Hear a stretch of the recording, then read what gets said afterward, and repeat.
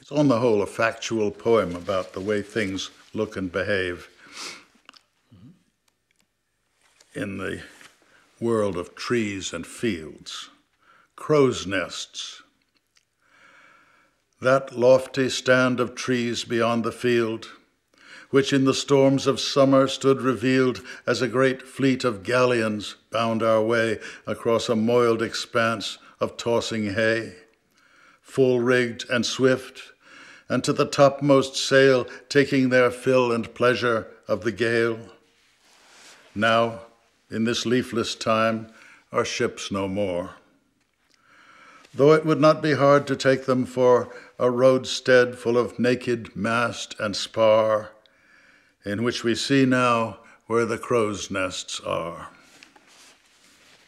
Now, that's just a simple fact. That's where crow's nests are. That's right. in the tops of trees, though not everybody knows it. Right. But you have to know about crow's nests and Yes, on ships. on ships as well.